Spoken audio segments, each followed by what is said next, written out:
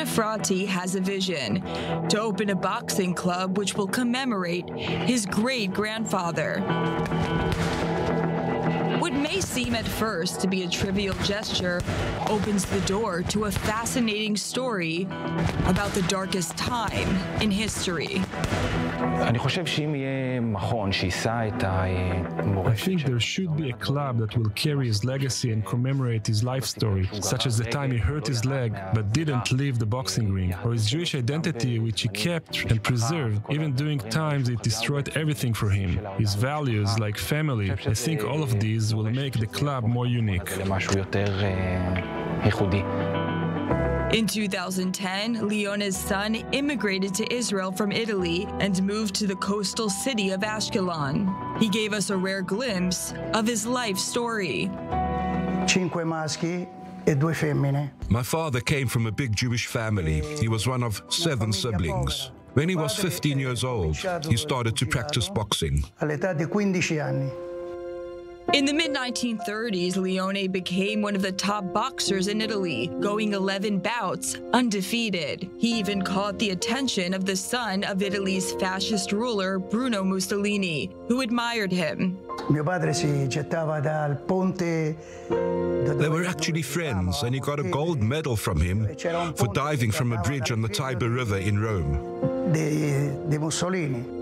In the late 1930s, Leone Efrati was invited to the US and started to fight some of the best featherweight boxers at that time. The peak came in 1938 when he took on National Boxing Association world featherweight champion Leo Rodak. Mio padre ha perso ai punti. In My father lost in 10 rounds, but many of the giornali che è stata spectators found the match unfair and that my ai danni di father should have won. Mio padre non aveva perso. Leo Rodak was American, my father was an Italian Jew. That's how he was described in the newspapers. Classico ebreo italiano. After his defeat, Leone hoped to continue his boxing career in the US. But the situation in Europe presented him with a major dilemma his career versus his family. Ed è successo che nel 1939 My father was scheduled for a rematch with Leo Rodak, but the match never happened. In 1939, Mussolini enforced the racist laws against Jews, and all their passports were revoked. His family was set to travel to the US, but they couldn't. Although my father was successful and made some money in the US, he decided to return to the family in Italy. Lui cos'era Italia? After he returned to Italy, Leone hid his Jewish identity and worked as a salesman.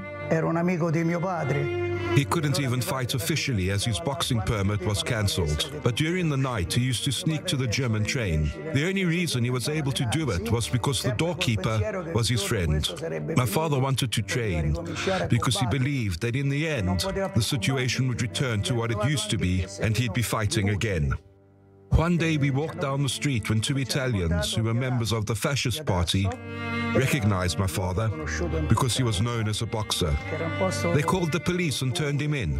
After a couple of hours, we were brought to the detention center in Tasso Street, where Jews were detained and tortured. Diciamo che ci hanno portato lì. Leone and his family were sent to a detention center in Rome.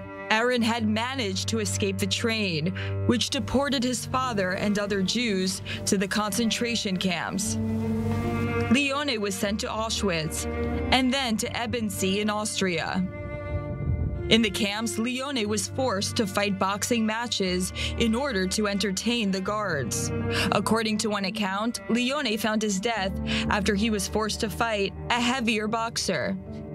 Leone won, and the guards who bet against him were mad and beat his brother. When Leone found out, he confronted the Nazi guards and was beaten to death. Aaron remembers vividly some of the last moments he had with his father. In prison in Rome, shortly before we were deported, my dad talked to me and asked me, What's your name?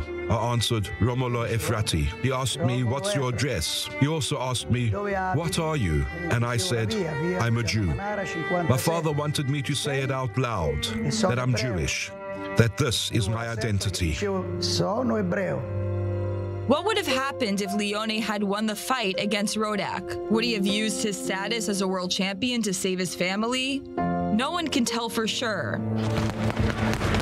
But now Aaron and his family are continuing their fight to keep alive the legacy of the man who, just like in the lyrics of Bob Dylan, could have been the champion of the world.